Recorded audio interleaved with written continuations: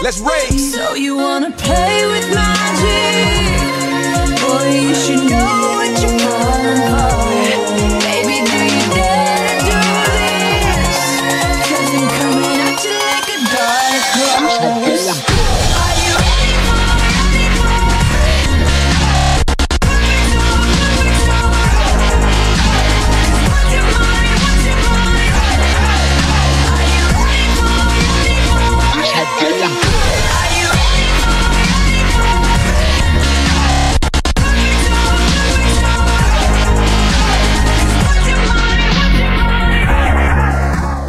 What is going on everybody, my name is ChadderManHD and in today's video guys I'm going to be showing you two awesome wall breaches that you can do on the map Retreat.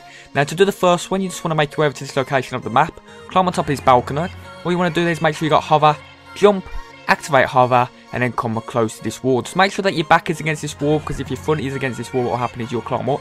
Once you're that there you just want to push forward, you will wall breach and then once you wall breach then all you want to do is find this little ledge area here and drop down.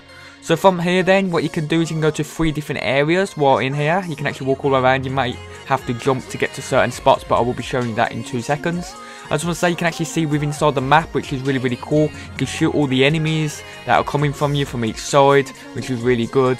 The only thing is you can't actually do this on infected because obviously without the hover you need hover to do this. As you can see there you can actually jump onto this section here. From here you can actually walk around and come to this section here as I'm showing you right now in this video. And then to get down there all you want to do is push forward and jump at the same time. And then you'll drop down here. So these are actually some really cool spots. A really good wall breach, probably one of the best wall breaches within this actual map.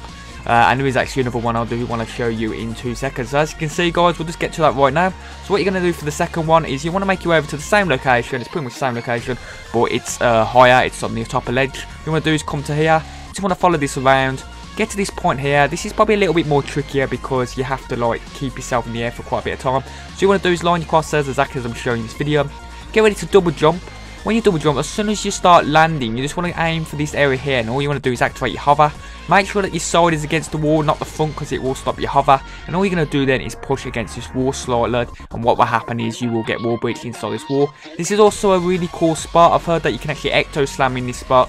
I have tried that a few times, it doesn't work for the actual Xbox One, maybe it will do, I don't know. It works for the 360, and I just want to say guys, if you had enjoyed this video, please give it a thumbs up, Founders link will be in the description. And like always, guys, it's been ChadderMan and I'm out.